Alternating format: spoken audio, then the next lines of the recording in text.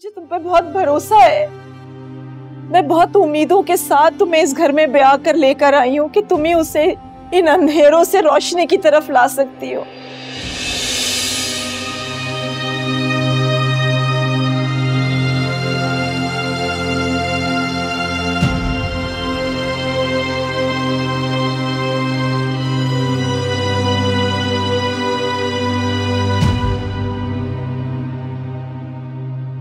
अच्छा ठीक है अम्मी आप बिल्कुल परेशान ना हो।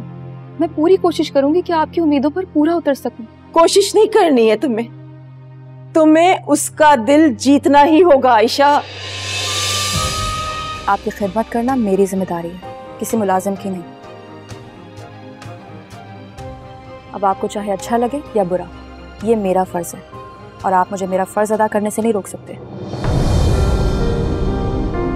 घर का काम करना और खाना बनाना आना चाहिए तुम्हें। वरना जो तुम्हारे अकाउंट में पैसे पड़े हुए ना चंद ये इसी तरह से खर्च हो जाएँगे इन्हीं चीज़ों में। और फिर हाथ मलते रह जाएँगे हम लोग। तो क्या सारी ज़िंदगी मेरे हक महर के पैसों पर गुजारेंगे?